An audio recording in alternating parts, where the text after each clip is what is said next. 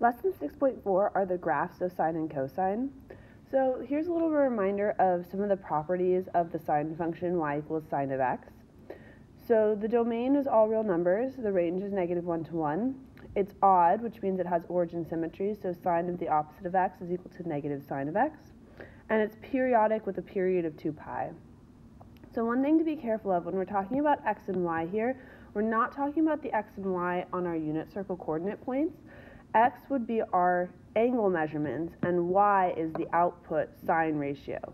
So these are kind of the parent points. I just look at the quadrantal angles for them.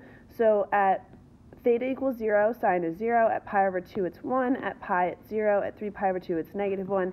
And at 2 pi, it's 0. And then it repeats that same exact pattern every 2 pi. So here's an example of two periods of the sine function drawn. So this table represents this period.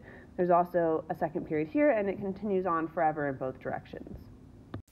If we look at the function y equals negative sine of x plus 2, we can graph this using the parent function of sine of x and our transformations that we've been using all year.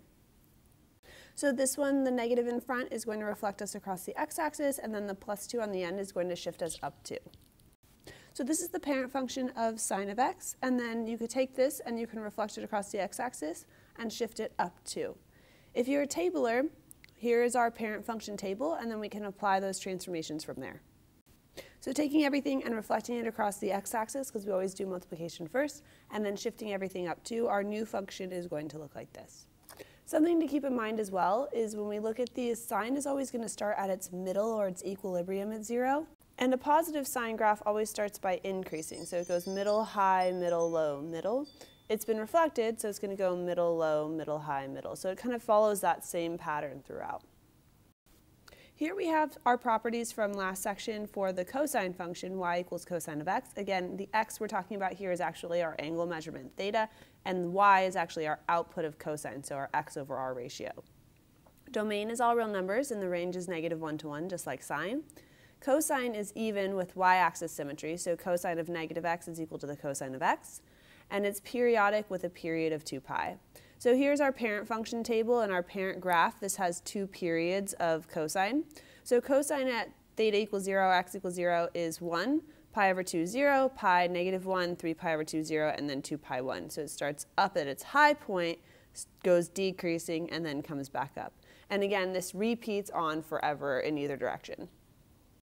Here we have the function y equals cosine of 3x. So go ahead and pause the video and graph this using transformations. So the 3 being multiplied by x is going to horizontally compress our function by 3. So whenever I have that, I always do the inverse for my x's. So I'm going to multiply everything by 1 third. So I get 0, pi over 6, pi over 3, pi over 2, and 2 pi over 3. And then the cosine y coordinates are 1, 0, negative 1, 0, 1. So I start at the high point, I go middle, low, middle, high. Make sure at the ends it turns back down and doesn't point up like a parabola because it would repeat again another period. For trig functions, we give some of these transformations specific names. So if we look at y equals a sine omega x or y equals a cosine omega x, this is the lowercase Greek letter omega. Then the vertical stretch or compression, we call that the amplitude, which is the absolute value of whatever a is and it's half the distance between the maximum or the minimum, or the distance from the equilibrium to either the max or the min. The period we've talked about is the distance in x that it takes for one full cycle of y values to repeat. So for an untransformed sine or cosine function, that's 2 pi. If something has been multiplied by x, that adjusts your period. And so we can find the new period of sine or cosine by doing capital T, which we use to represent the period, is 2 pi divided by omega, whatever is multiplied by x. So if we have the function y equals 3 sine 4x, we want to find the amplitude, the period, and then graph this using transformations. For the amplitude, it's the absolute value of whatever is multiplied in front because it's the vertical stretch or compression. Originally, sine goes from negative 1 to 1, so then if we stretch or compress it, that becomes our new amplitude. So our amplitude is 3. For the period, because we're being horizontally compressed by 4, our period is normally 2 pi, but we're going shorter by a factor of 4. So that's why our new period is 2 pi divided by omega, in this case 2 pi over 4 or pi over 2. So for my graph, I created the table. I started with the parent function. I multiplied all my y coordinates by 3, and I divided all my x coordinates by 4. So then I graph this. Some things to notice is it's actually pretty easy to graph our trig functions, especially when there's not too many transformations without doing the full table or anything just based on what we know our amplitude and our period is. So sine normally goes from 1 to negative 1, but if I'm multiplying everything by 3, I now have an amplitude of 3. It's going to go from 3 to negative 3. And then if there's a translation vertically after that, you can move it from there. My period is normally 2 pi, so it normally goes from 0 to 2 pi. My new period is pi over 2, so it's going to go from 0 to pi over 2, and then my other points are half of that, and then the quarters. So half of pi over 2 is pi over 4, half of that is pi over 8, and then the 3 quarter mark would be 3 pi over 8. It's also important to be able to recognize where the period and the amplitude show up on your graph and your table. So if we look at our graph, our amplitude is the distance from our equilibrium to the max of the min, or half the distance from a max to a min.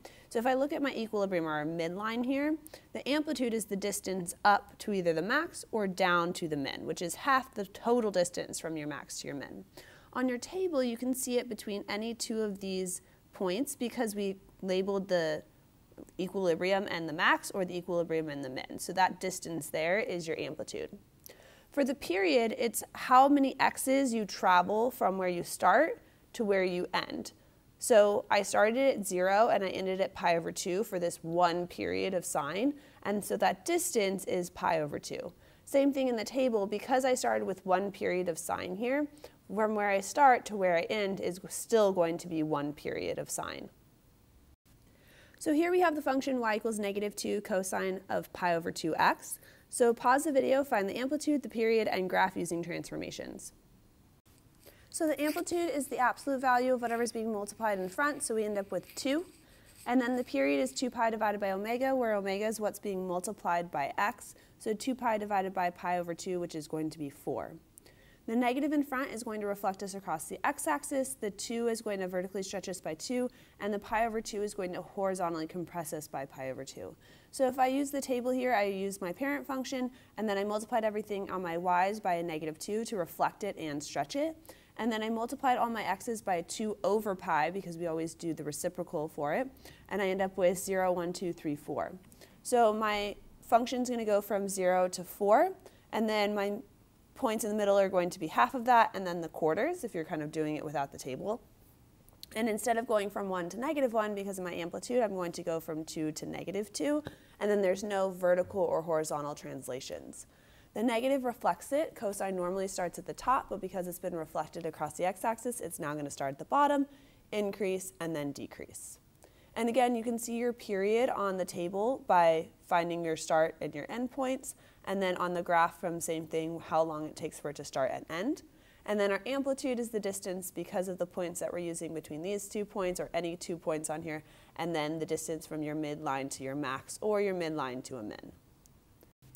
We can use this information to write a function based on a graph. So I would find the same pieces of information and work backwards to find the function. So go ahead and pause the video and try that. Looking at this graph, I notice that I have an amplitude of 3 because that's the distance from the midline to the minimum or the maximum. I notice that it starts at 0 here and goes to 1. I can tell that's a common point to a common point, so that's my period. So my period is going to be 1, which I need to use that to find omega. So I set the period, which is 1 equal to 2 pi over omega, and solve for omega, which is also going to be 2 pi. And I also noticed that at x equals 0, it's starting at its maximum here. So that means it's going to be a positive cosine graph. So I end up with y equals my amplitude that has not been reflected, so 3, positive cosine graph of 2 pi x. So here is your function. There's actually an infinite number of ways to write the function for this based on uh, tr horizontal translations. This could also be a translated sine graph. But usually I just go with the most basic one, which is the least amount of translations possible.